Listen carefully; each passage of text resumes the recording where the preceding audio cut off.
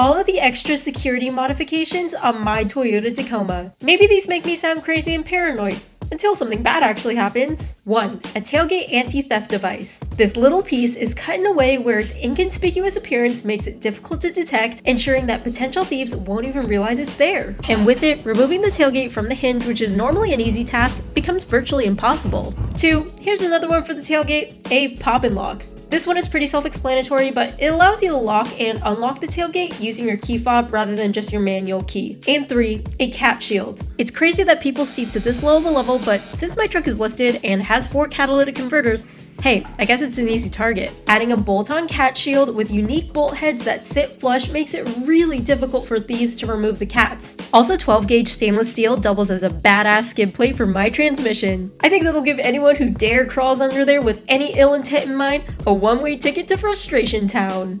Okay, stay safe out there guys.